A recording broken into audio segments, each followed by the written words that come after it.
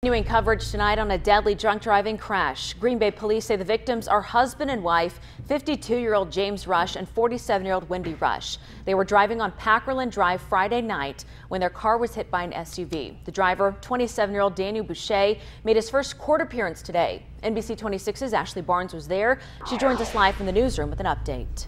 I was too drunk to drive. Cassandra, that's what police say Daniel Boucher, the accused driver, told them after that crash that killed two people. Now, this afternoon, Boucher made his court appearance in a wheelchair, showing uh, injuries from that crash. And all, he's facing six counts, two from that homicide. The other four revolving around Boucher's driving privileges being revoked after two previous OWIs. Now, police say this crash should have never happened.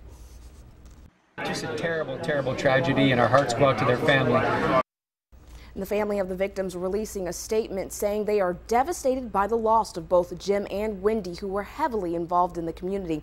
The statement also thanks to Green Bay Police and local community for helping the family through a difficult time. And right now, the family says they are focusing on the needs of the children. Both are students at Pulaski High School.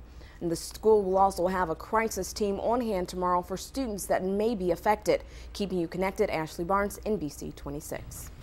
James and Wendy Rush left behind two children. If you'd like to help the family, a GoFundMe page has been set up. You can find it on our website, NBC26.com. Just click on the story about the family releasing a new statement.